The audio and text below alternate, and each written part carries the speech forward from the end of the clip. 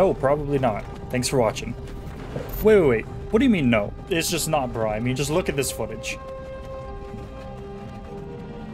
Alright, okay, yeah, yeah, it's not. Hey girls, guys, and all people like it is Maux here, and, and hello, and welcome back to the channel. Uh, today we're looking at what should be what the Elder Scrolls 6 will look like, um, but sadly we all know that's not true. Why isn't that true, though? Why can't the Elder Scrolls 6 look like this? Well, if you want to hate on Bethesda, it's because Bethesda. I mean, look at their most recent releases and tell me how many of them are Skyrim level quality. If you want to get technical, maybe not as many people can even run a game that looks this good, and the less people that can run it, the less people who will actually buy it. If you want to hate on Bethesda and get technical, it's because creating ultra photorealistic graphics for an entire Skyrim-sized game is a massive undertaking, something that I just can't see Bethesda doing. Yeah, you could say they've had over a decade to make this game, which should be more than enough time, but look at something like Cyberpunk, for example. Years and years for the fans to get impatient, and we end up with a crap game that needed massive fixes to even be playable for some people. Also, Bethesda doesn't just focus on one game at a time. They're constantly working on things both new and old, uh, so it's harder to divide their resources to making Elder Scrolls 6. All these things are fairly straightforward reasons, probably the most talked about for this topic. Probably.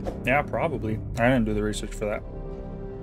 Alright, yeah, so we know that stuff. Or you didn't, in which case, now you know. Making games hard. I did see some stuff on ChatGPT about the style of Elder Scrolls, though. Wait, wait, wait. ChatGPT? We use AI for these videos? Nah, I mean, not really. I was just curious and gave it a shot. Huh, alright. ChatGPT. Controversial. Anyway, it's at something I've never seen in articles or videos talking about the Elder Scrolls 6. The Elder Scrolls series always had a unique art style that has set it apart from other RPG games. While improving the graphics and technology is always a goal for game developers, the series' art style has been consistent throughout the previous games, and any drastic change in the art style could potentially alienate longtime fans of the franchise. Honestly, that is something that I never even considered, uh, because the first thing I do whenever I play an Elder Scrolls game is download a bunch of mods to make it look much better. Something I see consistently though, especially when talking about alternatives is that they don't have that Skyrim feel or that Bethesda feel. While I completely agree that they have this feel to them, I couldn't ever explain what causes that feeling. Probably nostalgia. When I really thought about it though, it reminded me of another great game made even better with mods, Minecraft. In the modding community of both Skyrim and Minecraft, there's talk about that vanilla game feel. I personally am partial to mods that are vanilla friendly for both, um, as I don't want to ruin the feel of the game because I could just play another game if I wanted that. Something that could greatly affect the vanilla feel is the visuals. We've all seen those Ultra HD Minecraft videos, and in the comments is thousands of people saying, This isn't Minecraft. I miss the good old days of, of classic Minecraft, and why is the grass so shiny? Hit like to get free access to my own. I think that last one was a bot. Don't don't worry about that one. Sorry. Anyway, the same thing applies for the Elder Scrolls 6 or any game really. If you change the look too much, it just won't feel the same. So as much as we look at stuff like this and we say the Elder Scrolls 6 like needs to look like that, in reality, it might not even feel like an Elder Scrolls game if it does look like that. And I personally think that's way worse than having a game with just slightly less insane graphics. And I can already tell someone's typing, but we have confirmation that they're using 3D scanning to have photorealistic graphics. And yes, that is 100% correct, I think. But we also have confirmation that they're using the same game engine, the creation engine, the same one they used for Skyrim. Yes, I know it's not exactly the same, but the idea of using it in 2023 just seems wrong to me. They use the same engine for Fallout 4, which I think looks pretty great most of the time, but yeah, by this point though, you'll most likely have seen a lot of this Unreal Engine project on screen, but I just want to point out some things that really stood out to me. First off, I love the freedom that a game like this feels like it has, and even a game like Skyrim felt like it had. Some games feel so limited in the ways that you can move and the things that you can do, but the scene feels very like free, even though we're obviously not the ones controlling it. It just feels like we've been put into a world as we are. It feels very immersive.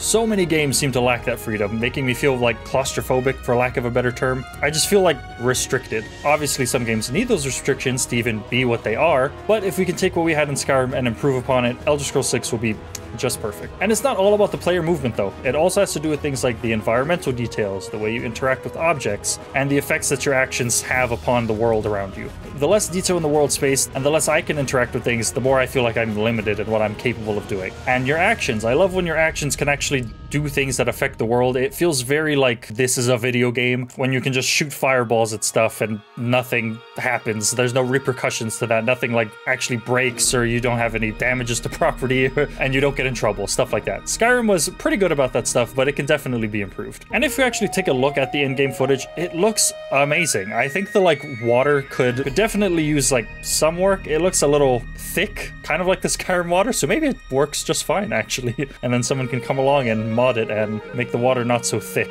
But they did a really good job with like moving things. Like when things are actually moving within a scene, it feels very alive. Obviously, there's no NPCs here, but it still feels like you've been put into maybe an abandoned town of some kind, or one that was recently vacated. Just because, like, you see, like, you saw their smoke coming out of the chimney, the wind waving between the like trees and the and the leaves falling, and those like top hangy hangy things, those hangy boys. I don't know what they're called. The waterfall coming down, the clothes waving in the wind, like the fire burning there. All that stuff really adds to the detail, and all this like just post processing stuff. Like, I think you just saw a quick little thing fly by as if maybe a bug or a leaf or something was like zooming past the screen. That type of stuff makes the world feel alive and it makes it feel like you're not playing a video game. And that's always been one of my favorite things about a game like Skyrim. I can get immersed into it and immersion was like my top thing in Skyrim. My top Skyrim mods are all immersion mods because like I said, I like to keep the feel of the game. And the overgrown buildings, I love me some overgrown buildings. That really adds to like this world is alive. It's not just plonk a building in a world space and like it, it feels very like immersive. God, truly it just looks so beautiful and I cannot wait to see what the Elder Scrolls 6 looks like because I'm sure it is going to be very Skyrim-esque. Like Skyrim was amazing, but it definitely had its flaws. And I think that's exactly how the Elder Scrolls 6 is going to be. Pretty great, very flawed, just like Skyrim was until modding came along and updates and all that stuff. They also do a very good job with the sound design, which is another massive thing. I talk about this kind of a lot in my videos, but sound design is pretty important um, just for making you feel a certain type of way, however the game wants you to feel. If you you want it to be scary, it's very important to get the sound design right, or else like very simple sounds can just totally throw something off, throw off a scene. It makes you feel like you're not really there, which totally takes you out of the experience. Like I said, in a spooky game, it's no longer spooky, it's just, I'm here, I'm playing a spooky video game. They played a weird sound. In a game like this, you hear something like that you're not expecting to hear, totally takes you out of it. I am no longer an explorer in a fantasy world, I'm just sitting at my computer. like you can hear the running water, you can hear the crackling of the fire, and it's all in like different spaces and everything. That spatial volume, not sure what it's called. Very, very cool, very important to me, and to a lot of people. Damn, and just seeing like the rock face and everything, it's so, so good. Super well made. Unreal Engine 5 has done some crazy things. It is insane the stuff you can do with Unreal Engine. There were certain scenes in this, I was watching it with my girlfriend and we were both like, damn, some of this, if you just pause it, could be just real life. I believe it's a village. Obviously, the closer you get to something like this, it gets a little bit fake looking. But then we have the amazing reveal, this giant world space. This is exactly something I want to see. I want to be able to see the world like from a huge distance like this and just be able to overlook things. Something like that in the Elder Scrolls 6, it would just blow my mind. I would love that so much. Looks like there's even a bit of like a tower or like a kingdom or something down there, which again, like if you could imagine seeing, I don't know where Elder Scrolls 6 takes place. I totally forget.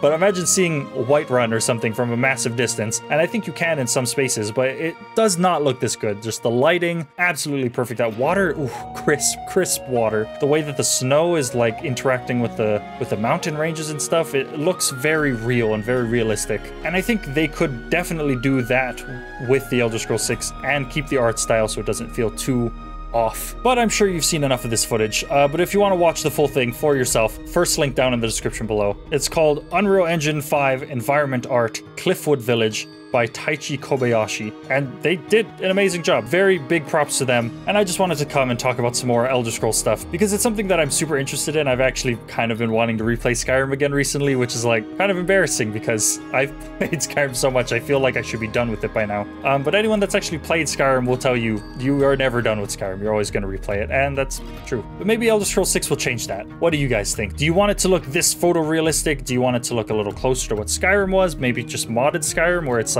yes, like way better looking. Modded Skyrim looks fantastic. It can like almost compete with stuff like this. Um, but would you prefer something closer to that or something closer to this? I'm leaning more towards the Unreal Engine 5 scene, but that's just me. If you guys have any thoughts or if you like this, let me know down in the comments below. Yeah, that's gonna be just about it. Thank you guys so much for watching. I mostly do FNAF video stuff, but I'm trying to branch out a little bit into things like this because they're it's very interesting to me and it's stuff that I am passionate about and that's the stuff that I like to cover. But yeah, anyway, thank you guys so much for watching. Don't forget to like, comment, and subscribe if enjoyed this. Stay tuned for more, uh, and I'll see you all in the next one. Goodbye.